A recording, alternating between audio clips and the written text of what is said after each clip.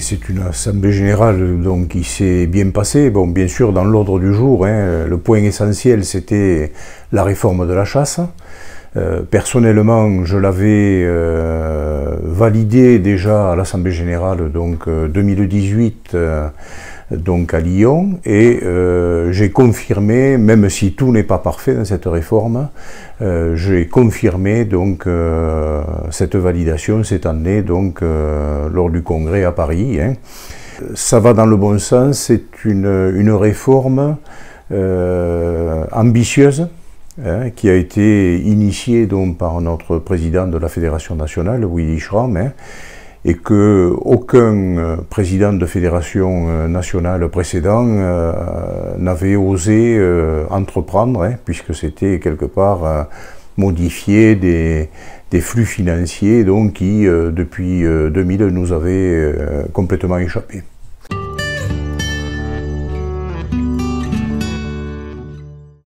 Alors, euh, elle a été très difficile à comprendre, mais aujourd'hui, globalement, je pense qu'elle va dans le bon sens. Alors, même s'il y a encore des, euh, points qui euh, méritent qu'on regarde avec beaucoup plus d'attention, hein. et en particulier, donc, la problématique des dégâts et leur financement.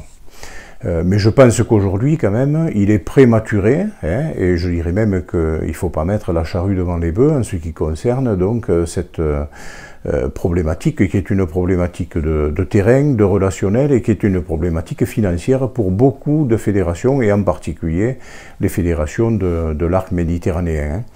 Euh, moi, j'attends euh, des résultats d'une mission parlementaire qui a été confiée donc euh, à, à donc député de l'Aude, et au, sénateur Cardou, et la décision qui sera prise par le Premier ministre pour déjà faire participer l'ensemble des territoires et en particulier les territoires non chassables, donc à ce financement des dégâts. Donc je pense que ça mérite encore aujourd'hui d'être euh, éclairci. En ce qui concerne les Pyrénées-Orientales, où bien sûr c'est une problématique majeure, euh, j'ai euh, invité donc au travers de différentes réunions de secteur donc à la création donc d'une large commission qui va justement débattre pour régler cette équation sur laquelle bien sûr nous avons quelques inconnus.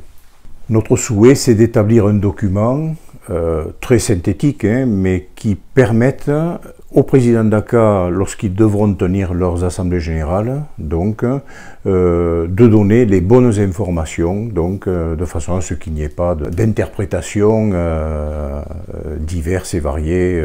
voilà.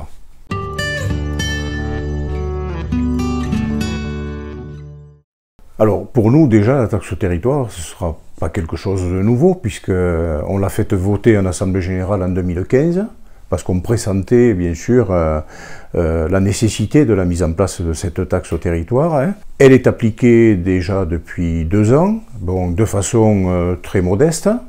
Il va bien sûr falloir revoir cette méthode de, calcul, hein, c'est ce dont je vous parlais et c'est cette commission qui va euh, s'en charger. Hein. L'objectif premier, ce sera surtout de réduire les dégâts. Euh, lorsqu'on analyse les dégâts des Pyrénées-Orientales, eh bien 60% des dégâts et des indemnisations au monde agricole sont répertoriés sur 13 communes.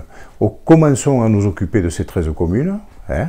Essayons de voir sur le terrain donc, euh, comment on peut améliorer la protection et aussi euh, l'action synergétique. Et après, bon, s'il est nécessaire d'aller plus loin, à ce moment-là, euh, on avisera.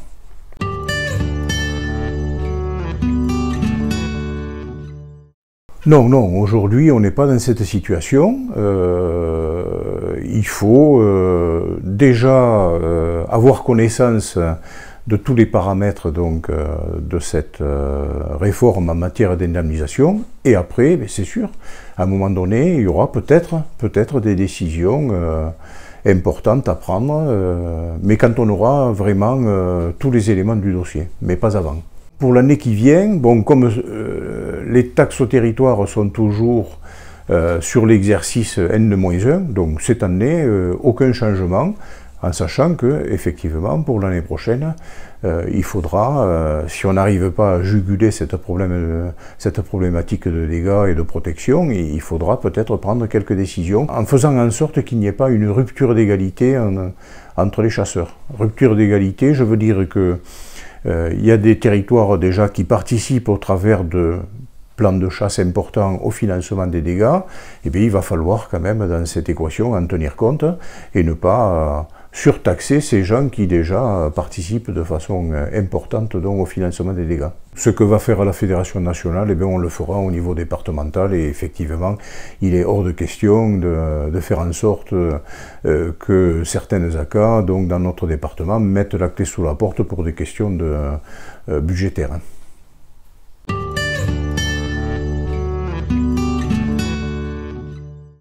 Non, ça ne me fait pas peur. Bon, parce que d'abord, euh, justement, au Congrès national à Paris, il a été voté euh, une clause de non-concurrence entre les fédérations. Hein. Donc, euh, il n'y a pas de, montage particulier à faire pour attirer certains chasseurs plutôt dans un département que dans l'autre. Ce sera étroitement surveillé. ce sera également sanctionné si effectivement des malversations donc, euh, ont été commises, donc non, je suis serein de ce côté-là. Cette transformation des validations départementales en validation nationale vont amener donc au niveau de la Fédération nationale des flux financiers donc très importants. Le président Schramm, à ce sujet, a été très clair.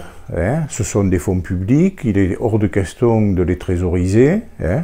donc il va y avoir une répartition qui se fera. Et euh, le président Schramm a toujours dit euh, nous ne laisserons aucune fédération au bord de la route. Alors il a décidé de créer au niveau national donc une commission des finances qui justement, euh, dont le rôle va être de, surveiller justement euh, ces flux financiers. Et je me suis inscrit euh, à cette commission des finances euh, justement pour défendre à la fois mon département, mais les autres départements qui en auront besoin également.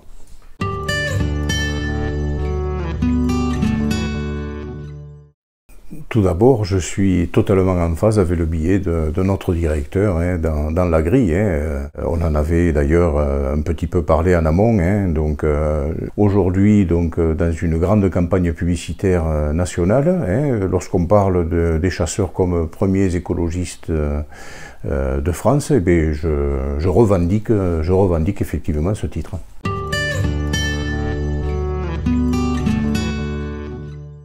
Euh, j'ai souhaité que cet AG porte essentiellement sur la réforme, hein, parce que euh, je, crois qu'il faut être très clair et très transparent. Hein. D'abord, on n'a rien à cacher, hein. et puis je pense qu'il euh, faut absolument informer. Informer pour justement faire en sorte que nous n'ayons pas là toutes ces fake news là qui circulent, donc, et les commentaires qui vont avec, bien sûr.